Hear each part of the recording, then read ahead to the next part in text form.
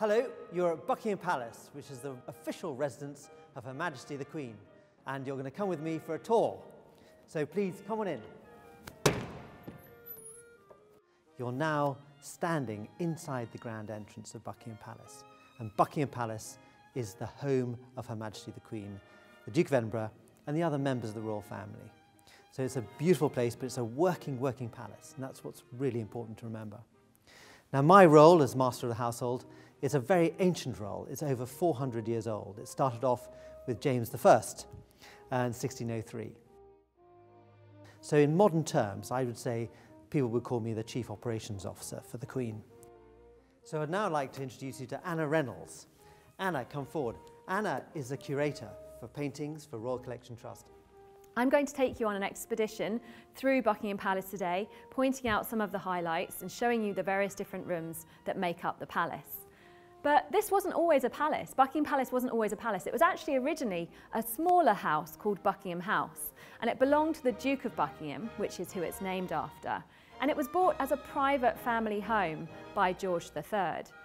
Um, George, his son, George IV, decided that he wanted to make it more magnificent and turn it into a palace and he engaged the architect Nash, John Nash, to um, make changes to the palace, make, this, make the rooms bigger. He actually made the entrance hall here, he lowered the floor so that the ceiling would appear taller. And he added these amazing flights of stairs that really give you this sense of excitement as you move up into the rest of the staterooms. Something that you might spot are all the different marble columns that are around this room. There were originally 104 here in the Marble Hall. That's why it's called the Marble Hall. And in 1829, one very, very large block of marble was brought along the Thames and it actually weighed as much as two double-decker buses. So you can imagine it took 17 horses to transport it here. So we're going to continue up, um, up the grand staircase. One of the most expensive things in the palace is something that you might not expect. It's the balustrade that you can see here, making up the banister.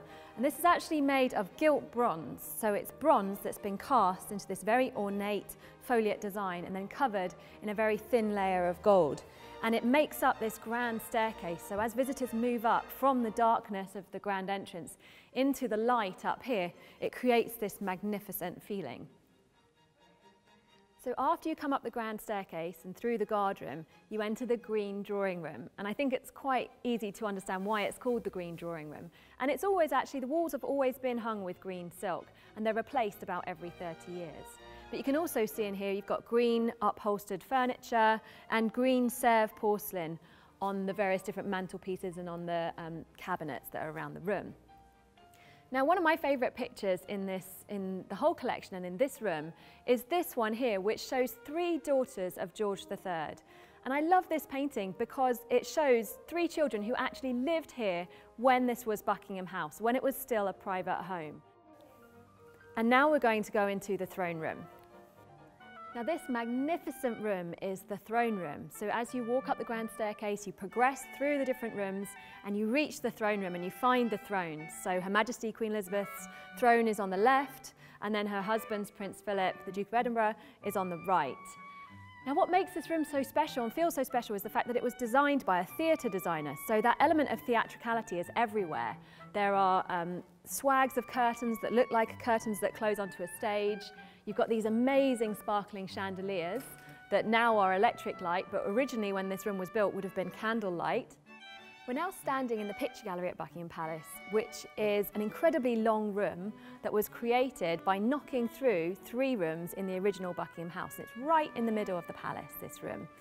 And it was made for George IV because he wanted to display his amazing collection of paintings. George IV absolutely loved paintings and he bought particularly Dutch art, which is what you can see surrounding on the walls at this end of the room. Um, the other type of paintings that are in here, there are lots of Italian pictures and one that I'd like to point out to you is this view of Venice by the Italian artist Canaletto. Um, now Canaletto, we have, we have the largest collection of Canalettos in the Royal Collection that exists anywhere in the world. There are over 50 in the Royal Collection. And they were all bought as a group. They came into the collection by George III actually in 1762 when he bought um, Consul Smith's collection. He just bought an entire group of pictures and used them to decorate his palaces.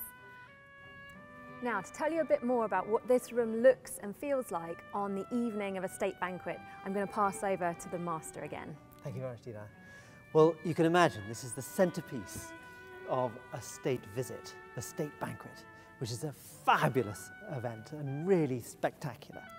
Uh, as you can imagine, it is, the atmosphere is electric. Exactly where I'm sitting, standing now is where the Queen will sit, is the top table. So the Queen is sitting here, she can see me and eyeball me very clearly if anything's going wrong, and the head of state is on her right-hand side.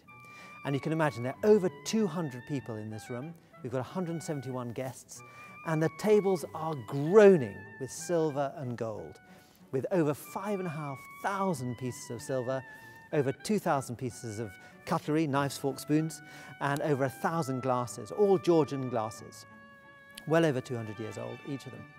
And we've got about 80 of my staff serving these 171 people, four courses, five types of wine, at the end of which the finale is created by 12 pipers walking around the ballroom, filling the whole room with a glorious sound of bagpipes. And they, they really do sound fantastic. So it gives a completely new meaning to sur all surround sound. Now this is the White Drawing Room. It's another one of the rooms that the Queen uses for entertaining, so receiving guests. And you can see it's one of the most ornate with amazing chandeliers, um, uh, yellow upholstered furniture. And then over in that corner, there's a gold piano. It's a piano made by the firm called Erard, and it was bought by Queen, Princess, Queen Victoria when she was Queen. Um, she actually played the piano very, very well with her husband. And this piano is decorated with mischievous monkeys making music and getting up to all sorts of trouble. Another amazing work of art in this room is this desk, which is from the late 18th century, and it was made by the um, cabinet maker um, Jean-Henri Riesener, and it's inlaid with all sorts of different woods. And originally when it was made, the woods would have been different colours. So the patterns that you can see, which are flowers and fruit, would have stood out much more strongly. But even within six months of it being made, they'd faded to all these different kind of browns.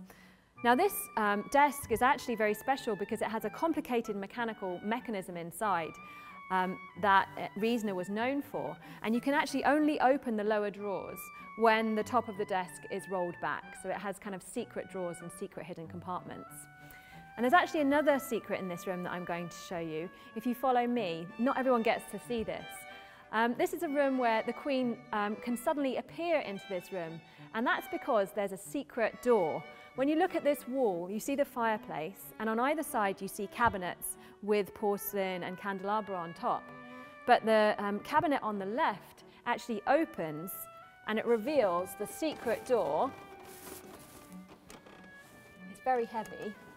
And that's where the Queen comes in from her private apartments when she's meeting guests here. But I just wanted to say thank you so much for letting me show you around Buckingham Palace. I hope you've enjoyed it. I hope you've enjoyed finding out more about the rooms and about some of the amazing paintings and works of art here. Well, we really hope you've enjoyed your tour of Buckingham Palace with Anna. We've certainly enjoyed having you, and thank you so much for coming to join us. Now, if you've got any interest at all in anything else you've seen, anything caught your eye, whether it's a picture or work of art, um, please don't hesitate to visit our website. It's royalcollection.org.uk and lots of information there, uh, particularly about schools resources, any school trips, uh, any learning resources or teaching resources, all on that website. For all the occupied palaces, specifically Buckingham Palace, but also Windsor Castle in Berkshire, England, and also the Palace of Holyroodhouse in Edinburgh in Scotland. But thank you so much for coming again, and please come back and visit us again soon. Goodbye.